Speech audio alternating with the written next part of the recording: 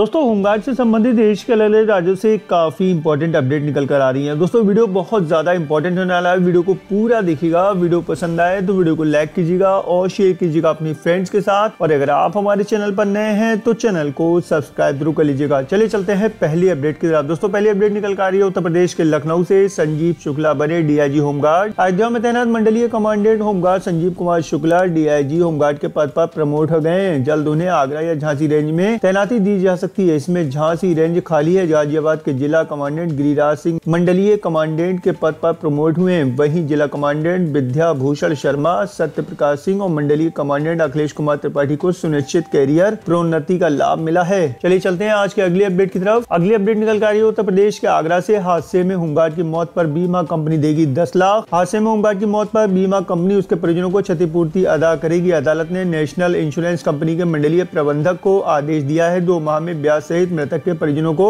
दस लाख चार सौ बासठ रूपए अदा करे। वादिया, बीरबती आदि गाँव धंधरिया, इगलास, अलीगढ़ निवासी एवं हाल निवासी ग्राम बाद दलती खंदौली ने अदालत में मोटर दुर्घटना प्रतिकर का दावा प्रस्तुत किया। कहा कि 15 मई 2016 को दोस्त के साथ उसके पति मुन्नालाल मथुरा से गाँव आने के लिए अलीगढ़ मथुरा मार्ग पर खड़े होकर वाहन का इंतज़ार कर रहे थे। उसी दौरान ट्रक चालक यामीन ने मुन्नालाल को रौन दिया। इलाज के दौरान 30 मई को पति की मौत हो गई। मुन्नालाल होमगार्ड थे। पति की मौत के बाद परिवार के भरण पोषण का साधन नहीं है। उसने उचित प्रतिकर दिलाने का अदालत से आग्रह किया था। दोस्तों, यहाँ पर कोर्ट ने काफ़ी अच्छा आदेश किया है। कोर्ट ने साफ़ कह दिया है कि होमगार्ड के परिवार को दस लाख चार सौ बासठ रूपए का क्षतिपूर्ति अदा की जाए। और दोस्तों, अगली अपडेट निकल कर रही है। हरियाणा से सरकारी अस्पतालों की सुरक्षा रहेगी। होमगार्ड के जिम्मे स्वास्थ्य मंत्री ने कहा, आउटसोर्स पर होंगी तीन हज़ार एक सौ सत्तर होमगार्डो की नियुक्ति। हरियाणा के स्वास्थ्य एवं गृह मंत्री अनिल विज ने कहा कि राज्य के सभी सरकारी चिकित्सा महाविद्यालयों में सुरक्षा संबंधी सभी प्रावधानों के लिए आउटसोर्सिंग आधार पर पंद्रह सौ अठारह होमगार्ड जवानों को लगाया जाएगा। इससे पहले प्रदेश के सभी सरकारी, प्राथमिक स्वास्थ्य केंद्रों, सामुदायिक स्वास्थ्य केंद्रों तथा जिला अस्पतालों में सोलह सौ बावन होमगार्ड जवानों को लगाने की स्वीकृति दी गई है। बिज ने बताया की स्वास्थ्य केंद्रों की तरह राजकीय चिकित्सा महाविद्यालयों में होमगार्ड लगाने की मंजूरी प्रदान कर दी गई है, जिसके लिए आगामी कार्रवाई शीघ्र शुरू की जाएगी। उन्होंने बताया की इसके बाद राज्य के सभी सरकारी चिकित्सा संस्थानों एवं स्वास्थ्य केंद्रों में कुल तीन हज़ार एक सौ सत्तर होमगार्ड लगाए जाएँगे। इसके तहत पीजीआई, एमएस रोहतक में आठ सौ अट्ठाईस होमगार्ड तैनात किए जाएँगे तथा भगतपुर फूल सिंह राजकीय चिकित्सा महाविद्यालय खानपुर करा में एक सौ नब्बे, कल्पना चावला राजकीय चिकित्सा महाविद्यालय, करनाल में 200 तथा शहीद हसन खान मेवाती राजकीय चिकित्सा महाविद्यालय, नलहर में 300 होमगार्ड की सेवाएँ ली जाएँगी। दोस्तों, अच्छी न्यूज़ निकल कर रही है होमगार्ड को लेकर। यहाँ पर हरियाणा में पंद्रह होमगार्ड को अब सरकारी महाविद्यालयों में लगाया जाएगा।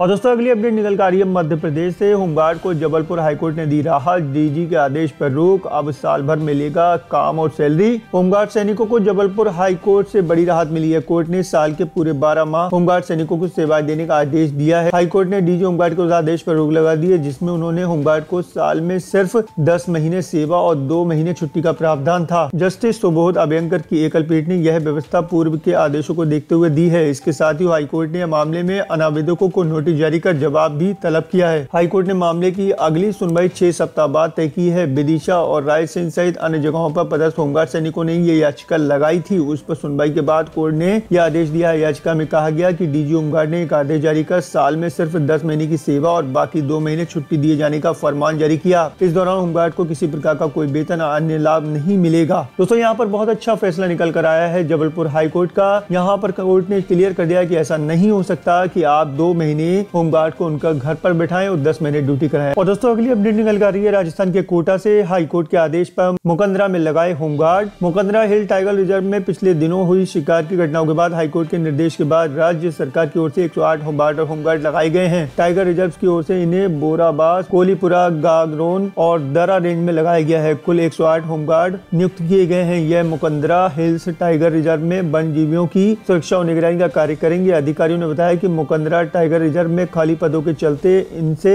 बांधों की सुरक्षा और वन्य जीवों की रक्षा हो सकेगी। पिछले दिनों से टाइगर रिज़र्व में शिकार की घटनाएँ बढ़ती जा रही हैं। इसके कारण यहाँ बांधों के भी खतरे बना हुए हैं। इस मामले को लेकर वन मंत्री ने भी पिछले दिनों कोटा प्रवास पर शीघ्र ही वन कर्मियों के खाली पदों के बढ़ने की बात कही थी। अब हाईकोर्ट ने निर्देश देकर यहाँ बॉर्डर होमगार्ड लगाने के निर्देश दिए हैं। और दोस्तों, अब आप लोग कमेंट करके मुझे जल्दी से बता दीजिए, आप लोग देश के किस राज्य से होमगार्ड है? नीचे कमेंट बॉक्स में आके अपने राज्य, अपने ज़िले का नाम लिखिए और आगे लिखिए होमगार्ड जिससे कि आगे मुझे न्यूज़ देने में मदद मिलेगी। वीडियो पसंद आया हो तो वीडियो को लाइक कीजिए और शेयर कीजिए अपने फ्रेंड्स के साथ और इसी तरह की बेहतरीन वीडियो सबसे पहले पाने के लिए आप हमारे चैनल को सब्सक्राइब कर सकते हैं। वीडियो के ठीक नीचे एक लाल रंग का सब्सक्राइब का बटन दिख रहा होगा, आप उसको दबाइए और दबाने के बाद एक बेल का आइकॉन आएगा। आप उसको भी दबाइए ताकि इस तरह का हर नया वीडियो आप तक आसानी से पहुँच सके और अपना ख्याल रखेगा। फिर मुलाकात होगी। Thank you.